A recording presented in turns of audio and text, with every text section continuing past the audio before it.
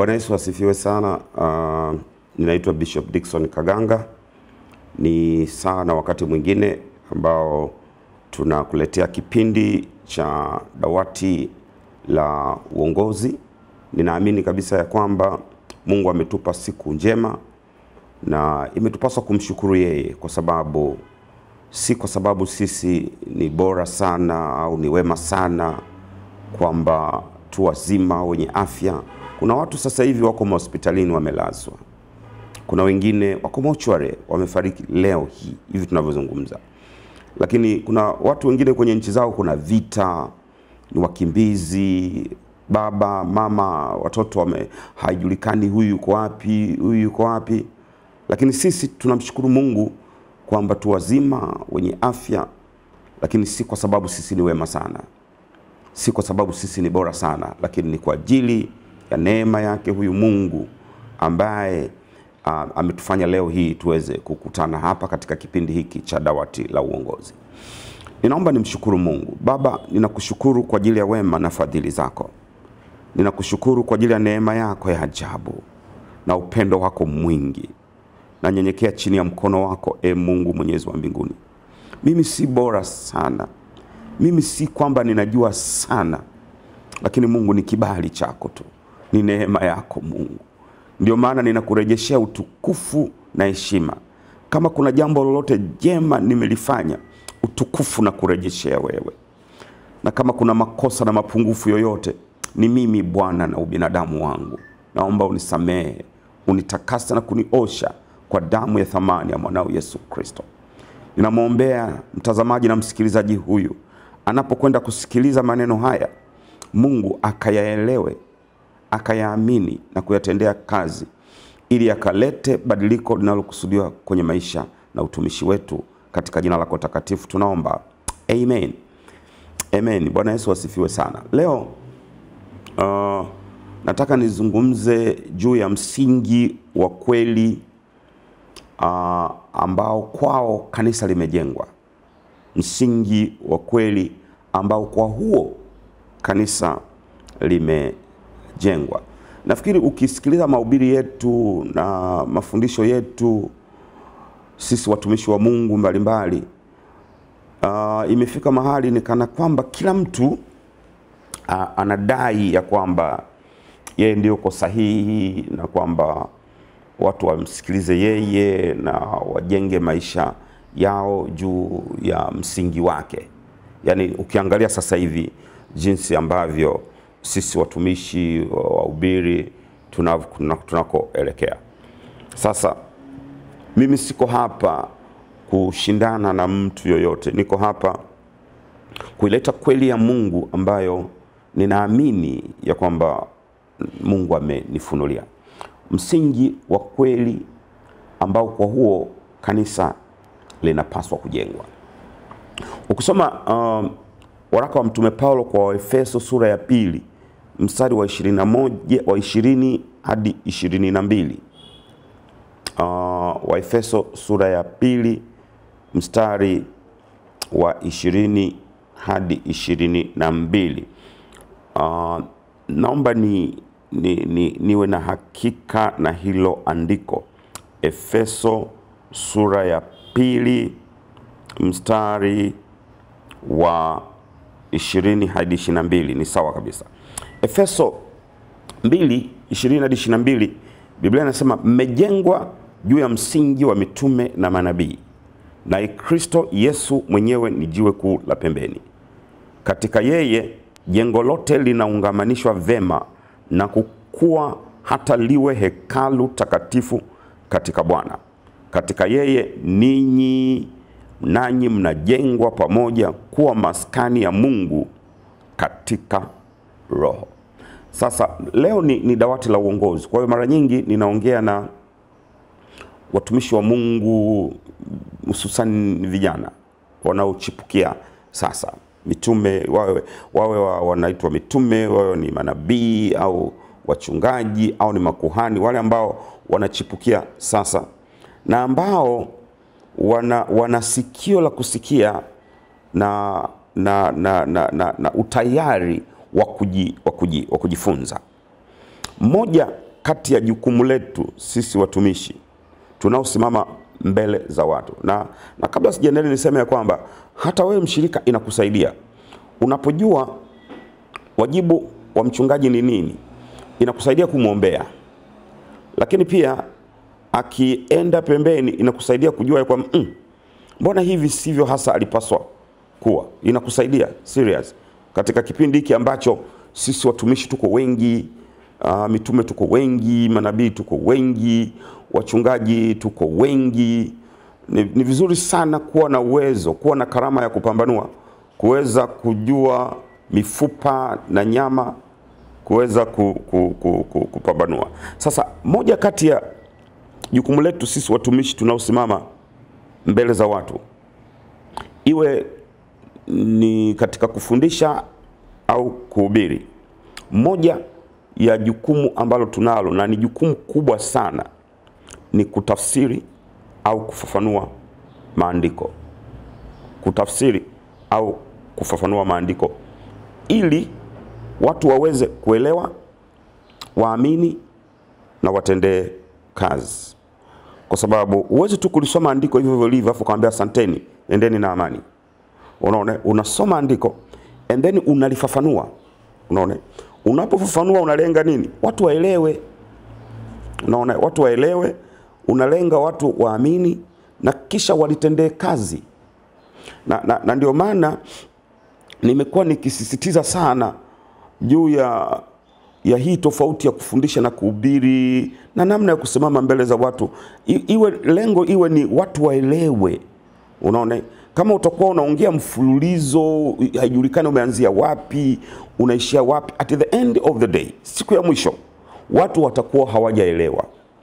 Na nikwambie ukweli, kama mtu hajaelewa ni vigumu kuamini, kwa sababu imani sio kuamini kitu usichokijua. Hiyo sio tafsiri sahihi ya, ya imani. Ndio maana unaona Yesu alishughulika sana kufundisha ili watu waelewe, halafu kisha waamini. Unaona, na wakishaamini watendee kazi ili maisha yao yawe sawa na kile ambacho amekifundisha. Sasa katika kutafsiri maandiko kuna mambo mawili yanakatazwa na, na, na, na, na wataalamu au wasomi wa kutafsiri maandiko, walimu wa hermeneutics. Kwanza wanatukataza kutumia andiko, unaone ili litetee hoja au wazo letu binafsi. Naomba nirudie, moja ni kinyume kabisa, ni makosa, unaona, kutumia andiko ili li, litetee hoja yangu. Yaani umegombana na watu and then umekasirika and then Jumapili unatafuta maandiko ya kuwapiga nayo, ni makosa, ni makosa kabisa. Yaani kama hukuweza kusamehe Jumamosi, basi ninakushauri panga mtu mwingine, lakini usende madhabahuni umebeba hizo hasira zako endeni umetafuta maandiko ya kuwapiga nayo.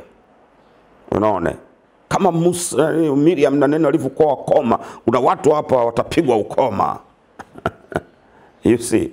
Sasa ukitafsiri hiyo, vijana wenyewe wa siku hizi hawa hawa vijana wenyewe hii generation ya sasa, hawa waumini wetu generation ya sasa ni vijana ambao wana ufahamu kubwa, ni dotcom generation ambao wana wana wana wana wana, wana, wana waalimu kwenye mitandao humo. Apart from you, usifikiri ni wewe tu mchungaji hapo unamfundisha, hapana.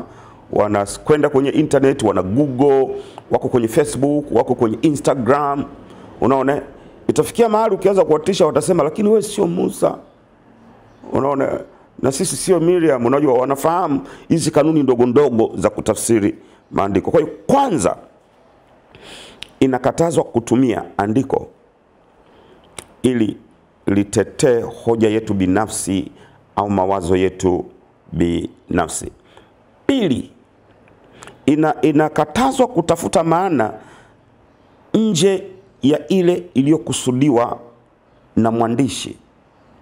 Kumbuka, unaposoma mstari wowote, iwe ni Paulo anaandika au Petro anaandika Jambo la kwanza kichwani mwako unatakiwa ujue ya kwamba yule msomaji wa aliyekusudiwa mwanzo sio wewe.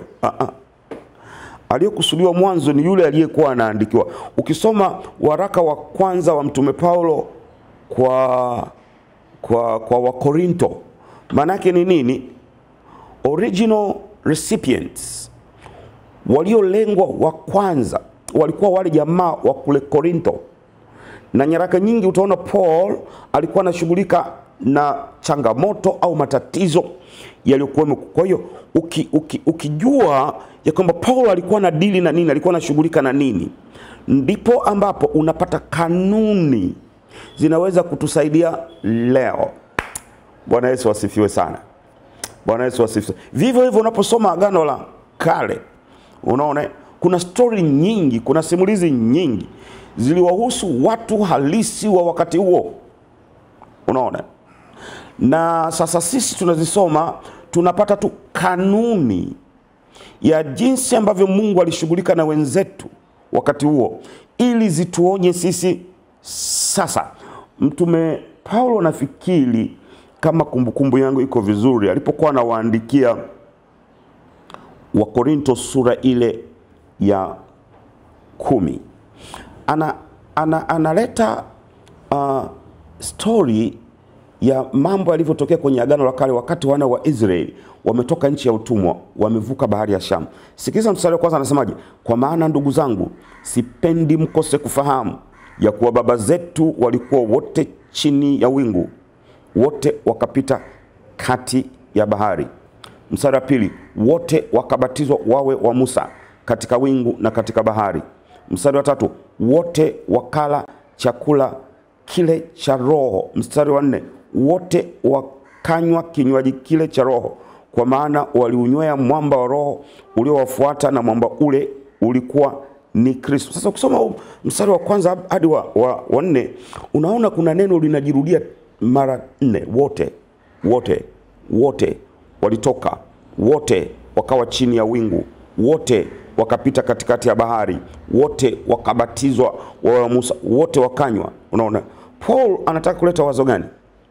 Ni kama vile uh, uh, neema ya Mungu ile ya jumla iliwakuta watu wote waliotoka Misri, hata wale ambao hawakutaka kutoka walitoka, hata wale ambao hawakupaswa kutoka walitoka, wote.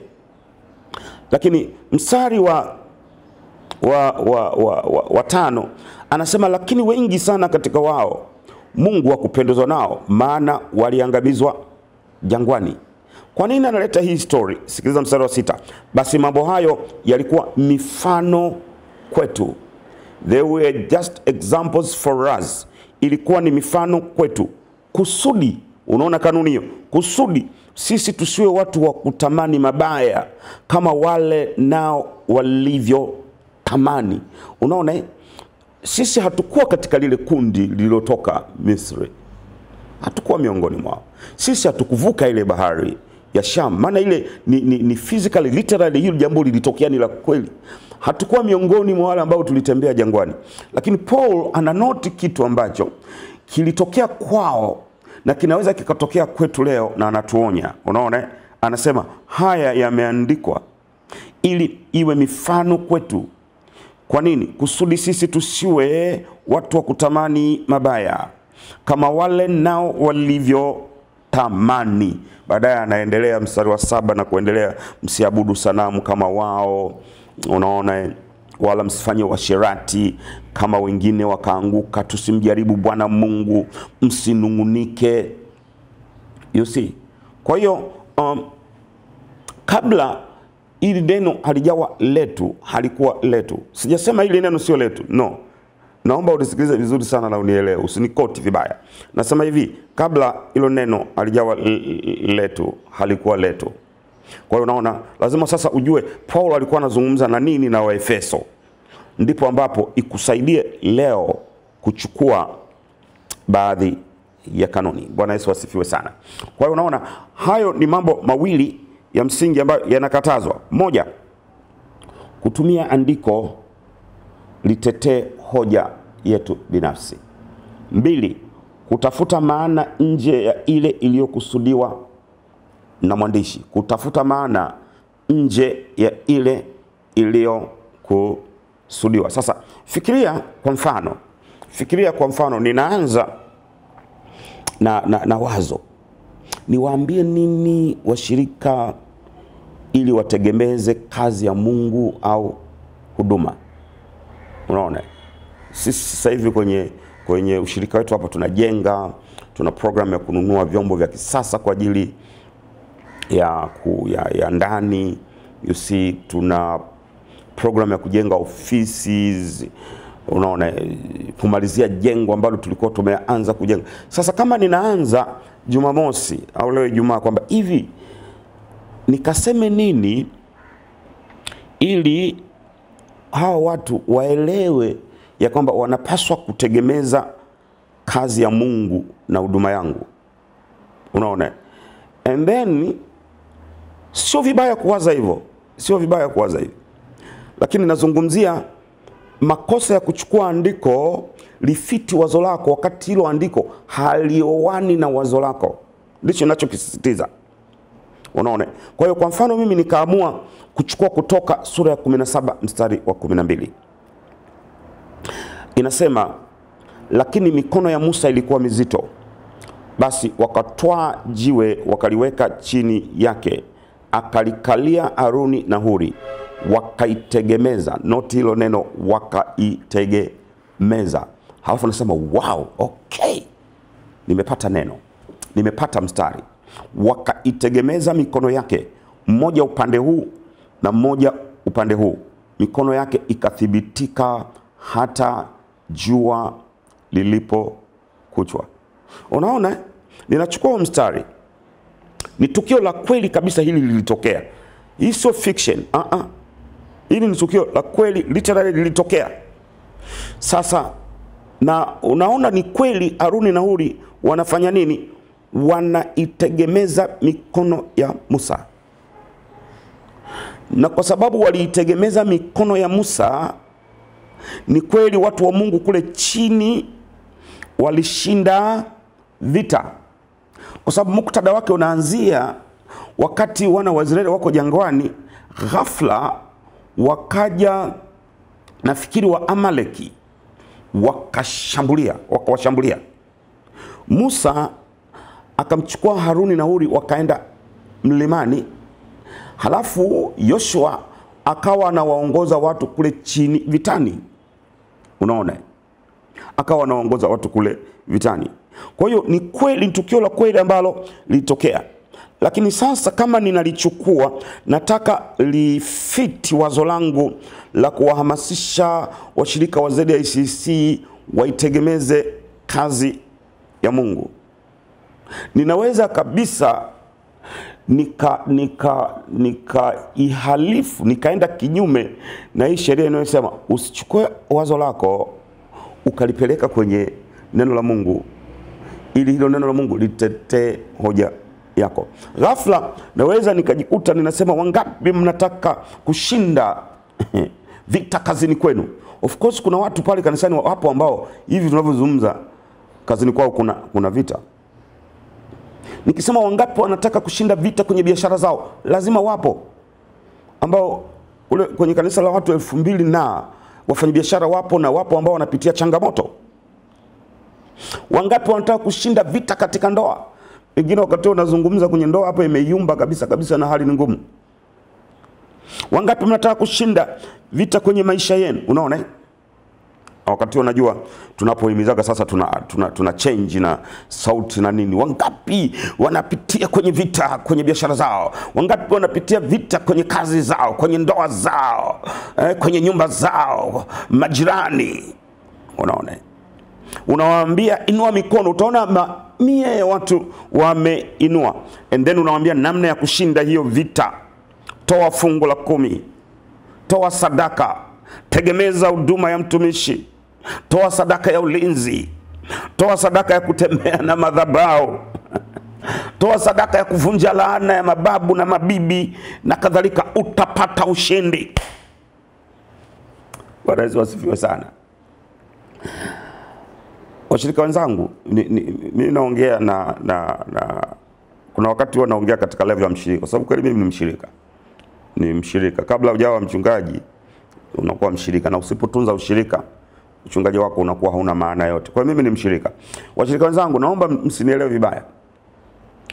Si, siko hapa kusema kutegemeza huduma ya, ya mchungaji, mtume, nabii, kuhani ni jambo baya. No, please, please, tegemezeni kazi za Mungu.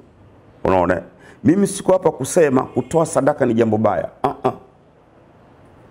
Au changizo ni jambo baya. Hapana, ninachosema, najaribu kuongea na watumishi wenzangu kanuni bora ya kutumia maandiko sawasawa. Bwana Yesu asifiwe sana, kwa sababu ukisoma sasa muktadha wa hiki ambacho mimi na, mtu anakigeuza tu from uh, point A kwenda point B bila kuzingatia tukio lenyewe lilikuwa kuwaje, ndicho tunaitaga muktadha. Ukisoma muktada wake sura ya 17 mstari wa nane kwa haraka inasema, wakati huo Wamaleki wakatokea wakapigana na Israeli huko wapi? Rephidim. Ilikuwa ni vita halisi. Mstari wa tisa, Musa akamwambia Yoshua, tuchagulie watu ukatoke upigane na Waamaleki, kesho nitasimama juu ya kilele kile na ile fimbo ya Mungu nitakuwa nayo mkononi mwangu. Mstari wa kumi, basi Yoshua akafanya kama Musa alivyomwambia, akapigana na Amaleki na Musa na Haruni na Huri wakapanda juu ya kile kilima. Sikiliza mstari wa kumi na moja, ikawa Musa alipoinua mkono wake Israeli walishinda. Alipoinua mkono wake Israeli walishinda, na aliposhusha, kumbuka mkono mmoja alikuwa na fimbo, mkono mmoja aliuinua. Unaona kuna neno mkono hapa, akainua mkono mmoja, Israeli walishinda. Aliposhusha, Waamaleki walishinda. Yaani ni kana kwamba vita ilikuwa inaamuliwa kule juu mlimani, sio pale chini inapopiganwa. You see, ndio maana tunasoma mstari wa kumi na mbili, lakini mikono ya Musa ilikuwa mizito, kwa maana alichoka wakatoa jiwe wakaliweka chini yake, akalikalia Haruni na Huri, wakaitegemeza mikono yake. Ghafla sasa tunaona neno mikono yake, mmoja upande huu na mmoja upande huu, mikono yake ikathibitika hata jua lilipokuchwa. Maanake ile vita ilipiganwa kwa muda mrefu kiasi kwamba Musa asingeweza kuinua mikono masaa yote, na alipokuwa anashusha Waisraeli walikuwa wanashindwa vita. Kanuni gani tunajifunza hapa? Ukweli, ukweli, kama tunataka tu wa kweli, kanuni ambayo tunajifunza hapa ni umuhimu wa maombi, yaani umuhimu kwa viongozi kuomba. Bwana Yesu asifiwe sana. Sim, simply kuinua mikono. Kwa nini Musa anainua mikono? He was praying, alikuwa anaomba, anamwambia Mungu tusaidie, sisi tumetoka tu utumwani. Hawa jamaa hapo chini hawana experience, hawana uzoefu wowote wa vita. Hawa hapo jamaa chini hawana silaha kama jamaa ndugu zetu jamaa maadui zetu wa Amaleki waliotuvamia. Bwana, usipotupigania. Na alipokuwa anainua mikono, alipokuwa anaendelea kuomba pale chini, oh my goodness, walikuwa wanashinda vita. Kwa unaona, kama tunataka tuwe uh, uh, wa kweli kanuni ambayo tunaweza tukaichukua hapo sio kutegemeza na, na neno kutegemeza linalotumika hapo lilikuwa lina maana support. Hii sio support ya fedha wala sio support ya mali, ilikuwa ni support ya nguvu kwa sababu walikuwa wamechoka. Kwa hiyo wakaweka jiwe mkono wa kulia, literally ni kitu cha kweli, na mwingine akaweka jiwe mkono wa kushoto ili waweze kuishikilia mikono yake. Ni kama walikuwa wanamwambia hivi, Musa, endelea kuomba, usipoomba tunapigwa. Bwana Yesu asifiwe sana. Je, tunaweza tukaiona kanuni hii ya umuhimu wa maombi kwa viongozi, sio kwamba kuombewa kuomba, umuhimu wa viongozi kuomba. Let me put it right way, niweke sawa sawa, umuhimu wa viongozi kuomba. Tunaweza tukaiona hii kanuni ikijirudia tena kwenye Agano Jipya, ndio tunaweza tukakaa hapa mpaka asubuhi kuelezea Yesu alipoanza huduma yake ndio kigezo. Alipoanza huduma yake alienda mlimani akafunga, alikwenda jangwani akafunga na kuomba siku ngapi? 40. Biblia inasema na aliporudi huko alirudi akiwa amejawa na nguvu za Roho Mtakatifu. Alilaunch huduma yake kwa maombi, na sio kwamba aliishia hapo. Hapana, Uki, ukijifunza maisha ya Bwana na Mwokozi wetu Yesu Kristo juu ya maombi, unaona kwenye Marko sura ya kwanza mstari wa 35 unaona tunaambiwa hata alfajiri na mapema sana akaondoka akatoka akaenda zake mahali pasipokuwa na watu akaomba huko. Luka sura ya sita mstari wa kumi na mbili ikawa siku zile aliondoka akaenda mlimani ili kufanya nini? Kuomba, akakesha usiku kucha katika kumwomba Mungu. Matayo 14:23 naye alipokwisha kuwaaga makutano alipanda mlimani faragani kwenda kuomba, na kulipokuwa jioni alikuwa huko peke yake. Yesu si tu alifundisha juu ya umuhimu wa wanafunzi wake kuomba, aliomba. Unajua, hata ile sala ya Bwana ambayo huwa tunairudia ilikuwa ni matokeo ya nini? Wanafunzi walimtazama Yesu Kristo asubuhi, alfajiri mapema, anakwenda mlimani kuomba. Wakati mwingine kwenye sura hii ya Mathayo hii hii kwenye kitabu kwenye sura ya 14 ya Mathayo ilikuwa ni baada ya huduma kubwa yenye mafanikio. Unaona, amewalisha watu elfu tano kwa mikate mitano na samaki wawili. Baada ya pale, akawalazimisha wanafunzi wake kuvuka. Yeye mwenyewe alipoaga makutano, alienda mlimani, anaomba, wakawa wanamwona. Ndio maana sala ile ya Bwana inaanza na maombi ya wanafunzi. Master, rabi, mwalimu, na sisi tufundishe jinsi ya kuomba. Bwana Yesu asifiwe sana. Ndio maana unaona sasa Yesu anawaambia ombeni hivi, ile sala ndefu ambayo ndani yake ina mafundisho mengi sana. Unaona, kwa hiyo tunaona ile kanuni ya viongozi kuwa mbele katika maombi. Mchungaji hupaswi kuelekeza tu maombi, imekupaswa kuongoza maombi. Ah, no, naomba nirudie. Kuongoza hasina maana ya kusimama mbele. Ah, ah, nina maana wewe mwenyewe kuwepo kwenye maombi. Mchungaji hupaswi kuwa nyumbani na kuuliza eh, mzee, watu wangapi wamehudhuria kwenye mkesha? Ah, mzee, wamehudhuria wanawake wangapi? Oh, halafu kesho Jumapili, na Mungu awabariki sana, nimepata taarifa uh, watu wengi walihudhuria kwenye maombi. Mungu that is wrong. Hiyo si sawa sawa, hiyo si sawa sawa, my friend. Ulipaswa uwepo. Unless otherwise huo ni mgonjwa umesafiri. Lakini nikiwepo kwenye mkesha kanisani nipo. Mara nyingi jumamosi ninakuwepo kwenye mkesha pamoja na vijana. Pale kanisani kwangu tuna vijana wanajiita jehovanis bwana ni bendera yetu. Hawa kila jumamosi wanafunga na kuomba kuamkia jumapili. Most of the time ninajiunga nao nina join nao kuonyesha ya kwamba si swala la washirika tu uh -uh. maombi ni swala ambalo sisi viongozi tunapaswa kuwa mbele. Mchungaji, kijana, mtume, nabii, kama kuna jambo ambalo hupaswi kukasimu ni maombi. Unaweza ukakasimu mambo mengine, acha wengine wahesabu fedha, watunze kumbukumbu Bwana Yesu asifiwe sana. Acha watu wengine wafanye, watembelee wagonjwa. Wa, kama kanisa lako ni kubwa sana, umetengeneza system ya mashema na na nini, hawa wanaweza wakakusaidia kufanya hizi kazi za hapa na pale, lakini huwezi kukasimu maombi. Sikiliza kwenye Matendo ya Mitume sura ya sita mstari wa tatu na wanne. Uh, Dr. Luka anasemaje? Matendo ya Mitume sita tatu nne.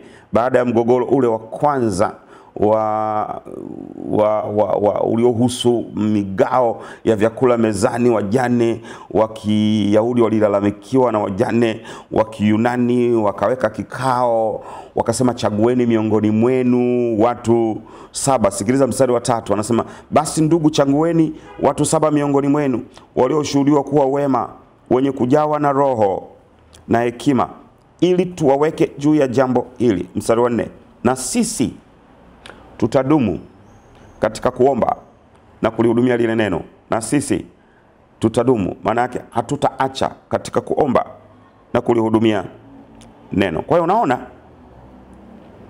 tukitoka na maana yetu kichwani na kutaka kulilazimisha neno liseme tunavyotaka sisi, tutakosea sana. Tunaweza tukawahimiza watu kuhusu utoaji na kutegemeza kazi ya Mungu. Maandiko yako mengi. Kwa mfano, kwa mfano, I'm teaching, nafundisha.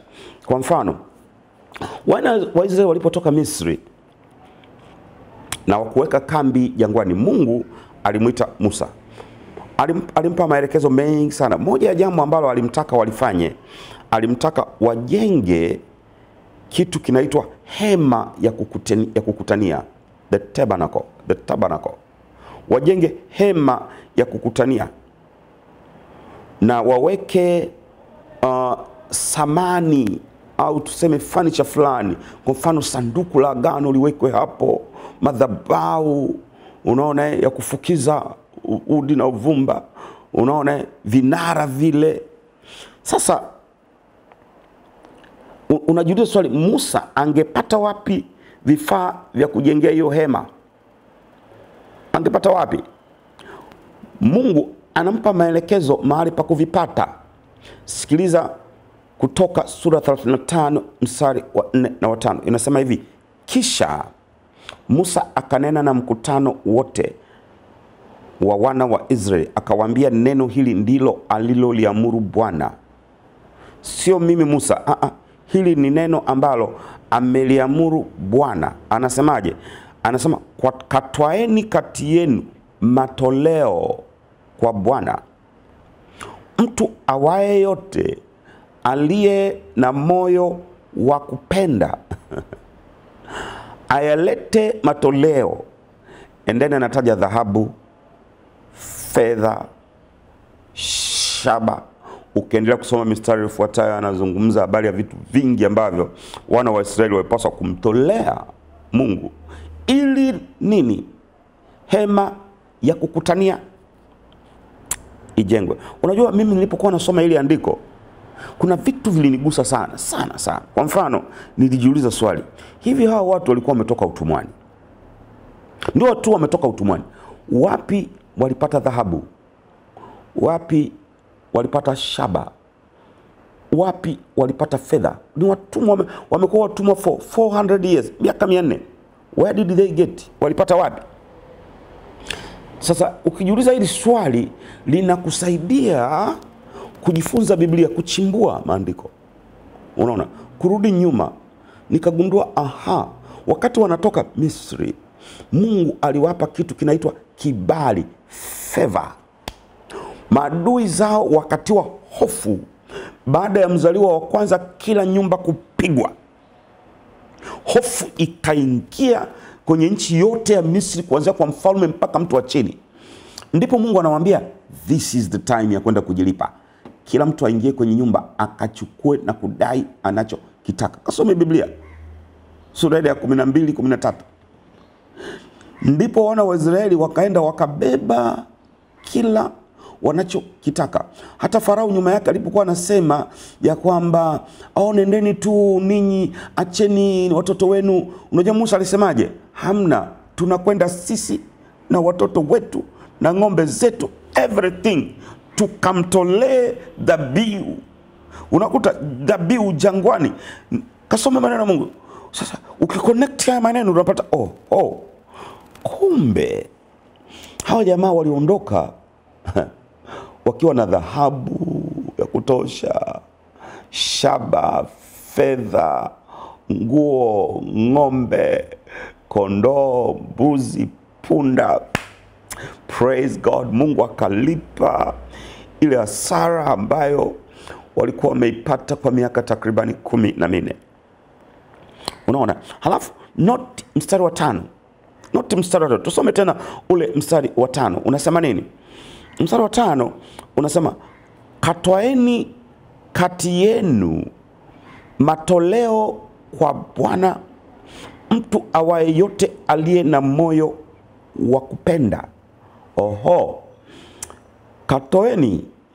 Musa kachukue sadaka ya dhahabu, kachukue sadaka ya fedha, kachukue sadaka ya, ya shaba na kadhalika na kadhalika kutoka kwa watu, lakini wa, wa aina gani?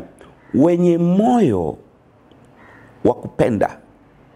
This is so powerful, wenye moyo wa kupenda. Unajua hii ni, unajua ukifundisha kuna watu wachungaji, watumishi wa Mungu, vijana kuna wakati tunakuwaga na hofu ya kwamba sasa nikifundisha hili kwamba mtu alete sadaka kama apendavyo hivi kweli wataleta? Lakini swali nikuulize, kwani tukiwatisha wataleta? You see, tukiwadanganya ya kwamba ninaona hivi ninaona hivi ninaona hivi, huwa wanatoa for some time tu and then baadaye wanaacha, kwa sababu huwezi kuendelea, yani huwezi kuwadanganya watu wote kwa wakati wote. No, itafika mahali watu wenye ufahamu na wenye akili wataanza kuhoji. Sitasahau siku moja nilimtembelea um, kijana wangu mahali fulani, sitaki nipataje. Kwa hiyo Jumapili ile akanipeleka kanisani wanako abudu. Kwa hiyo nikafika pale, akanipeleka ofisini, nikajitambulisha kwa mchungaji. Mchungaji akasema, "Ah, mbona ungesema mapema askofu, nikupe kuhubiri?" Nikasema hapana, kawaida yangu mimi nikienda mahali sitaki niwape watu shida, huaga sipigi simu mimi Umeme mchungaji, Jumapili nakuja kuabudu kwako, kwa sababu wengine wanapopiga hivyo wana maana naomba nije nihubiri. Unampa kazi mtu ambaye amejiandaa, ameomba, Mungu amempa ujumbe, alafu sasa unampa disturbance, na especially kama una kataito kidogo. Wakati nilikuwa bado askofu wa jimbo, unaona eh? Kwa hiyo nina kataito, mjumbe wa halmashauri kuu, unaona eh? Sasa ni- ningemwambia ya kwamba eh, nampigia Ijumaa hiyo, Jumapili nakuja kuabudu hapo maana yake ni nini? Inampa shida kama amempanga mtu mwingine kuhubiri, au ye mwenyewe amemtafuta Mungu, maskini ya Mungu, ameandaa maandiko yake and then yuko, yuko, yuko excited kuhubiri and then na wewe unamwambia ninakuja. Kwa hiyo anaanza kufikiria sasa, oh, kwa hiyo mimi huwa natokezea tu Jumapili kama washirika wengine, kwa sababu nimeenda kwenye shughuli zangu kule, mambo yangu ya kifamilia, sitaki niwasumbue watu. Ukienda kwenye mambo ya kifamilia, shughulika na mambo ya kifamilia. Ukija Zanzibar kwenye ishu za kibiashara, shughulika na ishu za biashara. Nikija Mwanza kwenye shughuli zangu binafsi, nimemtembelea nimetembelea wakwe zangu, kwa sababu mke wangu ni Msukuma. Mimi ni- nimekuja kwenye shughuli za kifamilia. Kwa hiyo nikatokezea Jumapili and then nikaenda tu nikamsalimia mchungaji ili ajue nipo na nikawa hapo ibadani. Sasa ulipofika wakati wa sadaka eh, ndio niliona maajabu. Unaona, kwa sababu kulikuwa kuna sadaka sijui kama saba, yani sadaka saba, unaona, na zingine zina majina ambayo mimi sijawahi kusikia, sijawahi kusikia mimi, sadaka ya kutembea na madhabahu. Yani sijawahi kuisikia mimi, sijaona kwenye Biblia sadaka ya kutembea na madhabahu, ndio nilisikia kwa mara ya kwanza.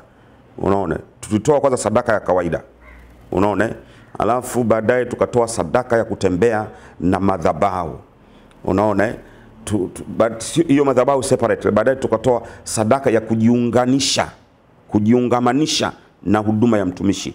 Hiyo yani, ukitoa unajikonekti na huduma ya mtumishi, unajiungamanisha hiyo ilikuwa ya, ya tatu hiyo, unaona. Baada ya hapo tukasoma tukatoa sadaka ya kukomboa ya kukomboa mzali, sio ilikuwa tu mzaliwa wa kwanza, ilikuwa kukomboa vitu vingi tu, kukomboa kutoka kwenye laana za mababu za mabibi za makabila za mila za desturi za mwenge za mlima Kilimanjaro. Uf, na yenyewe tukaitoa kana kwamba haitoshi, kukawa kuna sadaka ya ulinzi, achilia kukomboa. Sasa achilia sasa, kwa sababu sasa mimi unajua, sikuwa nimejiandaa nilikuwa nilikuwa na nyekundu nyekundu zile kumi. Kwa hiyo nilijikuta kila sadaka natoa elfu kumi. Hii sadaka elfu kumi sadaka elfu kumi. Niliporudi nikawa naambia kijana wangu, akasema ah, sikukwambia baba, unajua sisi huwa tuna change. Unaona hao vijana hao vijana sasa hivi, kwa sababu wamegundua sadaka ni nyingi, akanambia huwa tuna change.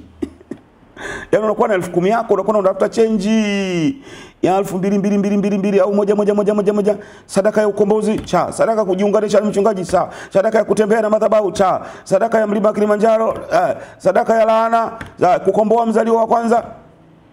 You see, hao ni wanadamu, lakini ngoja nikwambie, ukiwafundisha kweli wakajua wanayemtolea ni Mungu. Naomba nirudie tena kusoma Kutoka 35 mstari wa 4 na watano kwa pamoja.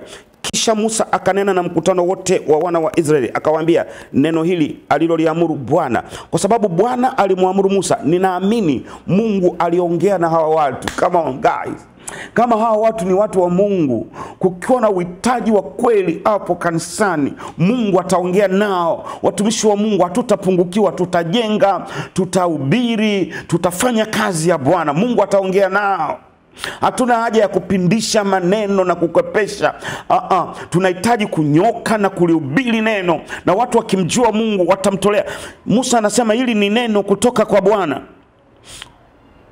katwaeni kati yenu matoleo kwa Bwana mtu awaye yote aliye na moyo wa kupenda. Mi nimejifunza kanuni tatu hapa. Moja, Mungu hajawahi kumtaka mtu atoe kitu ambacho hana. This is the, the first principle. Kwa nini? Kwa sababu hawa jamaa si unaona, Mungu aliwapa, walikuwa wana dhahabu, walikuwa wana shaba, waliipata wapi? Kule Misri. Mbili, Mungu hajawahi kumtaka mtu atoe kitu ambacho hajampa. Bwana Yesu asifiwe sana. Everything, kila kitu tumekipata kwa Bwana. Wana wa Israeli walikuwa na dhahabu, walikuwa na shaba, walikuwa na fedha, walikuwa na nguo, walikuwa na mifugo. Wapi walipata? Mungu aliwapa. Wamisri wasingewapa watumwa hawa hivi vitu. Mungu aliweka utisho kwa Wamisri, halafu wao wakawapa nini? Kibali. Huku wameweka utiisho, huku wamewapa kibali. Waka, in fact kwenye nyumba nyingine waliitiwa wakasema, ondokeni, nichukueni mnachotaka muondoke. Bwana Yesu asifiwe sana. Tatu, Mungu hajawahi kumlazimisha mtu kutoa. Ndio maana unaona hapa anasema mtu mwenye moyo wa kupenda. Kasome sura 36 37 Kutoka. Unajua Mungu akihusika na jambo, I'm telling you, utashangaa. Watu walitoa mpaka Musa akawaita wazee akawaambia hivi, imetosha. Ah, praise Jesus. Kasome maandiko, akawaambia imetosha. Yaani sadaka tunayohitaji kwa ajili ya kujenga hema ya kukutania imetosha. Sasa tunaweza tukaiona hii kanuni kwenye Agano Jipya. Ukisoma Wakorinto wa pili sura ya tisa mstari wa saba na wanane unasemaje? Wakorinto wa pili tisa saba nane inasema hivi kila mtu na atende kama alivyokusudia moyoni mwake, si kwa huzuni wala si kwa lazima, maana Mungu humpenda yeye atoaye kwa moyo wa ukunjufu. Na Mungu aweza kuwajaza kila neema kwa wingi, ili ninyi mkiwa na riziki za kila namna siku zote mpate kuzidi sana katika kila tendo jema. Na ukisoma mstari wa, wa kumi na wa kumi na moja unasema na yeye ampaye mbegu mwenye kupanda na mkate uwe chakula atawapa mbegu za kupanda na kuzidisha, naye atayaongeza mazao ya haki yenu, mkitajirishwa katika vitu vyote, mpate kuwa na ukarimu wote umpatiao Mungu shukurani kwa kazi yetu. Bwana Yesu asifiwe sana. Unaona zile kanuni tatu tulizoziona kule kwenye Agano la Kale zote ziko hapa. Tulisema nini? Mungu hajawahi kumtaka mtu atoe kitu ambacho hana. Unaona, ndio maana mstari wa 11 Mungu anasema mkitajirishwa katika vitu vyote, mkitajirishwa katika vitu vyote. Maana Mungu ndiye atupae nguvu ya kupata utajiri, ndiye anatupa akili, anatupa ufahamu. Oh my God, anatupa uzima. Hata uliposoma ni Mungu alikutunza akakulinda. Uh, wewe una kazi si kwa sababu wewe umesoma kuliko wengine, hapana. Kuna watu wengine wana vyeti kuliko vyako na hawana nafasi ulionayo. Mungu amekupa hiyo nafasi, you see ili mpate kuwa na ukarimu. Ndipo hapa idea sasa ya uwakili inapo inapozungumzwa, muwe na ukarimu wote, yani mtoe kwa hiari, umpatiao Mungu shukrani kwa kazi yetu. Mbili, Mungu hajawahi kumtaka mtu atoe kitu ambacho hajampa. Tunaiona hii kanuni mstari wa nane. Mungu aweza kuwajaza kila neema kwa wingi, ili ninyi mkiwa na riziki za kila namna, my goodness, mkiwa na riziki za kila namna. Lakini jambo la tatu, Mungu hajawahi kumlazimisha au kumtisha mtu kutoa. Unaona mstari wa saba, kila mtu na atende kama alivyokusudia moyoni mwake, si kwa huzuni wala si kwa lazima, maana Mungu upenda yeye atoae kwa moyo wa ukunjufu. Bwana Yesu asifiwe sana. Unaona, ndio maana katika andiko letu la msingi tulisoma kwa makusudi kabisa, nilisoma Waefeso 2:20 hadi 22, mmejengwa juu ya msingi wa mitume na manabii, na Kristo Yesu mwenyewe ni jiwe kuu la pembeni. Katika yeye jengo lote linaungamanishwa vema na kukua hata liwe hekalu takatifu katika Bwana. Katika yeye ninyi nanyi mnajengwa pamoja kuwa maskani ya Mungu katika Roho. Huo ndio msingi wa kanisa ambao kwao kanisa limejengwa. Bwana Yesu asifiwe sana. Sasa usipoelewa, usipolifafanua neno kwa usahihi, watu wakakosa kuelewa, hata kama wakaamini wakatendea kazi, hawatapata matokeo yanayokusudiwa. Unaona, hawatapata matokeo wanayokusudia. Unajua, moja ya changamoto ambazo tunazipata leo katika swala zima la ujasiriamali, ashukuriwe Mungu sana, kuna kelele nyingi za ujasiriamali, kuna kozi nyingi za, kuna walimu wengi wa ujasiriamali, kuna vitabu vingi vya ujasiriamali, lakini katika utafiti wangu mdogo ambao nimeufanya nimegundua ya kwamba watu wengi wanaofundisha juu ya ujasiriamali, unaone, wameigeuza hiyo elimu ya ujasiriamali kuwa ni ujasiriamali wao. Let me repeat again, wengi sana, sio wote, wako walimu wazuri, vipo vitabu vizuri, lakini I'm telling you, wengi sana hawa walimu wa ujasiriamali wamegeuza elimu ya ujasiriamali kuwa ni ujasiriamali wao. Watakufundisha namna ya kuwa na greenhouse hata kama hawajafanya utafiti wa kutosha, hawajajua vizuri. Watu wamepata hasara nyingi sana na mambo haya ya greenhouse, ya watu wanakuja wanasema hii greenhouse uta, utawekeza milioni si 40 utapata milioni karibu mia mbili. Wala watu wamewekeza kwenye hiyo greenhouse milioni 40 ikaenda ba. You see watu wanazungumza habari ya matikiti, kilimo cha matikiti, lakini hajafanya utafiti. Watazungumza tu shalo shalo, mtu anaingia kwenye matikiti anakuja kugundua kumbe kuna issues za madawa, unaona. Lakini pia kuna issues za majira, kuna issues za mbolea, kuna issues yanastawi wapi, kuna issues za soko. Sasa hawa watu wakishachukua hela zao za ujasiriamali, wamekufundisha wewe ujasiriamali, ukipata hasara hawana hawajali, watakwenda mahali pengine. You see, watakwenda mahali pengine. Mungu awabariki sana walimu wa ukweli wa ujasiriamali, wamesaidia sana vijana wetu, wamewasaidia sana kina mama. Mimi nazungumzia juu ya wale ambao wamegeuza elimu ya ujasiriamali kuwa ujasiriamali wao. Watumishi wa Mungu, tukitaka matokeo, Mtume Paulo anasemaje? Kuna msingi ambao kwa huo kanisa limejengwa mmejengwa juu ya msingi wa mitume na manabii, naye Kristo Yesu mwenyewe ni jiwe kuu la pembeni. Praise Jesus. Yesu mwenyewe ni jiwe kuu la pembeni. Sasa wako ambao wanatumia ile andiko vibaya. Nilimsikia mmoja anasema, unaona, tangu mwanzo kanisa likukusudiwa kujengwa juu ya wachungaji, maskofu Kanisa kutoka mwanzo lilikusudiwa lijengwe juu ya mitume na manabii tumerudisha msingi wenyewe mitume na manabii. Sasa anaposema hivyo, unajua yeye ana maana gani? Ana maana yeye yani ana maana sisi mitume wa sasa hivi hawa hawa tunaouza vifaa vya kiroho, unaona, na manabii wa sasa hivi unaona, ambao tunawaambia watu tu from nowhere, utajenga Masaki, utajenga posta kutoka asubuhi mpaka jioni, watu wanapoteza muda, unaona. Anafikiri kwamba au anataka tuaminishe kwamba Paul alikuwa na maana hiyo. No guys, uh -uh. Paulo alipozungumzia manabii alizungumzia wale wa Agano la Kale. Alipozungumzia mitume alikuwa na maana ya wale kumi na wawili na jiwe kuu la pembeni ni Yesu mwenyewe.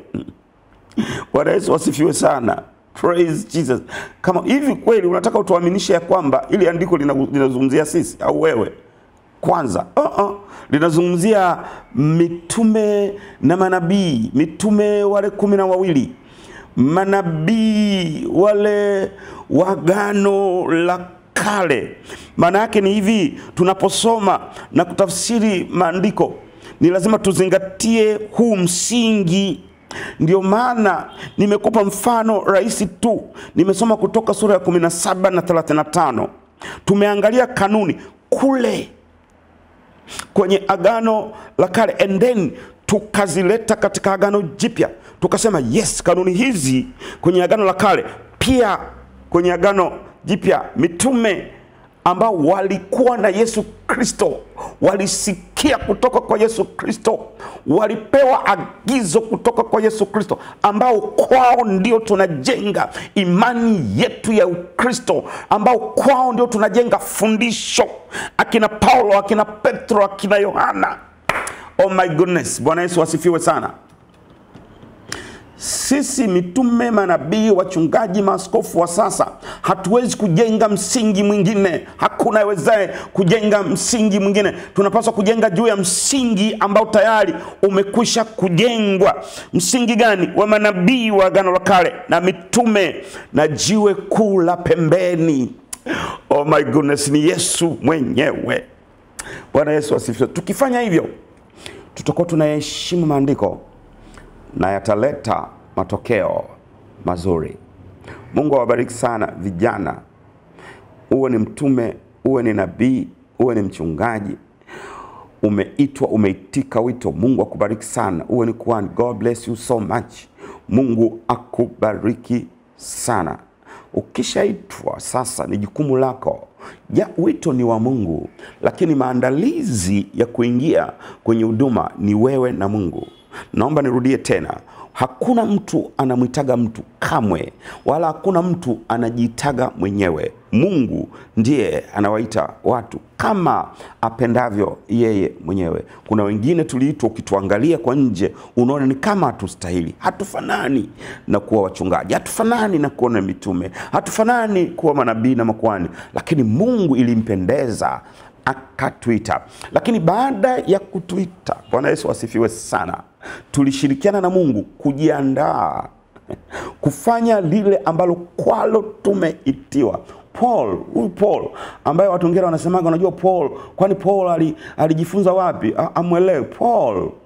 Paul alipoitwa ilimchukua takriban miaka kumi na nne miaka kumi na nne unaona, alikwenda uh, hakujifunza kwa mitume kwa sababu mitume ni kama walimkataa kwanza, lakini unajua Paul alikuwa na elimu ya agano la kale, alikuwa na, anasomea Ufarisayo. Kwa hiyo agano la kale alilisoma lote fyo na ndio maana ukisoma kwa mfano waraka wake kwa Waebrania ambao ninaamini ameandika Paul, unaona jinsi ambavyo ana, analeta elimu ya agano la kale na ufunuo ambao ameupata kwa Bwana na Mwokozi wetu Yesu Kristo. Anasema agano la kale ni kivuli cha mambo mema ya jayo Praise Jesus. Anasema tutapataje kupona tusipo ujali wokovu mkuu namna hii ambao kwanza ulinenwa na manabii ukathibitika na baadaye unaona ukadhihirika kwetu kwa njia ya mwanawe Yesu Kristo. Anawaambia Waibrania ambao walifikiri kana kwamba hawana makuhani, anawaambia hivi, mmekosea. Agano la kale walikuwepo makuhani, lakini sisi tunaye kuhani mkuu, kwa mfano wa Melkizedeki ambaye hana mwanzo wala mwisho, kuhani ambaye alipoingia madhaba, alipoingia kutoa dhabihu, kuhani wa agano la kale alipoingia kutoa dhabihu, alikuja na mbuzi au kondoo wawili kwa ajili ya dhambi yake na dhambi ya hao watu anaowapatanisha. Paulo anasema huyu kuhani wetu sisi, kwa mfano melkizedek Yesu Kristo, yeye mwenyewe alikuwa dhabihu, yeye mwenyewe alikuwa uh, kuhani. Kwa hiyo alitoa dhabihu mara moja. Praise Jesus. Unaona, kwa hiyo kuitwa, wito ni wa Mungu, lakini baada ya kuitwa, jishughulishe, jisomee. Bwana Yesu asifiwe sana. Bwana Yesu asifiwe sana. Praise Jesus. Yoshua alikaa muda mrefu sana chini ya Musa, ndipo baadaye akaja kumtumikia Mungu kwa mafanikio makubwa sana. Timothy. Bwana Yesu asifiwe sana. Elia na Elisha, tunayo mifano mingi sana. Ukifanya hivyo, huduma yako itakuja kuwa ya baraka sana na yenye mafanikio makubwa na yenye matokeo makubwa. Washirika mnaonisikiliza, ukiamua kukaa chini ya mchungaji fulani, sapoti huduma yake, mtie moyo, mwombee. Kwenye Agano la Kale kuna wakati watu hawakuwa na choice, hawakuwa na uchaguzi. Elisha hakuwa na uchaguzi, kulikuwa kuna Elia mmoja tu. Lakini leo hii nafikiri wenye watu wakomavu mnanielewa. Leo hii kuna kina Eliya kibao. Chagua Elia wako ambaye unajua hakika hakika ana kitu cha kukusaidia, na ukishampata Elia, mtie moyo, mwombee, sapoti huduma yake, mbariki. Bwana Yesu asifiwe sana. Ukifanya hivyo, Mungu atakubariki. Ukikaa mahali ambapo neno halifundishi sawa sawa, ni kama utapanda mbegu kwenye mwamba, hazitaota na Mungu hatapaswa alaumiwe. Wa kulaumiwa tutakuwa sisi, kwa sababu alishasema watu wangu wanapotea, wanaangamia kwa kukosa nini? Maarifa, knowledge, ufahamu. Hebu nataka nikuombee mtu wa Mungu. Baba, katika jina la Yesu na kushukuru kwa ajili ya wema na fadhili zako na kwa ajili ya neema yako ya ajabu. Naomba msaidie baba huyu, mama huyu, kijana huyu ambaye amesikia ujumbe huu. Ninaamini kuna kakitu nimepanda ndani yake kikaote na kukua. Wewe Roho Mtakatifu ukayathibitishe maneno haya kwa ishara na miujiza katika jina la Yesu Kristo aliye Bwana na Mwokozi wa maisha yetu, amen, amen. Mungu akubariki sana. Nikuombe jambo moja tafadhali, au mawili matatu. Moja, tusaidie kutangaza televisheni yetu kwa watu wengi iwezekanavyo. Watumie rafiki zako, jamaa, kuambia kuna televisheni inaitwa Joy Gospel TV inapatikana kwenye Azam Other Channels namba tano. Ziko TV nyingi za Kikristo na hii nayo ni mojawapo. Kila mtu ana uamuzi wa kuangalia na kusikiliza mafundisho yepi. Hii nayo ni moja wapo. Ninaamini kabisa ya kwamba uh, ukifanya hivyo litakuwa ni jambo jema. Mbili, subscribe kwenye YouTube channel yetu Joy Gospel TV. Ukisha subscribe, hakikisha umebonyeza kile kitufe cha kengele and then umelike na comment tafadhali, na utume hizo linki kwenye magrupu yako na kwa marafiki na jamaa zako. Ukifanya hivyo utakuwa umetusaidia sana. Jambo la tatu na la mwisho, Mungu akisema nawe kwa moyo wa hiari wa kutaka support Joy Gospel TV kwa sadaka yako, namba ziko hapo kwa kila mwenye moyo wa kutaka, anayeona ya kwamba TV hii imefanyika baraka, natamani niwe sehemu ya baraka. Ukifanya hivyo litakuwa ni jambo jema. Otherwise, Mungu akubariki, nikutakie usiku na siku njema, injili iendelee.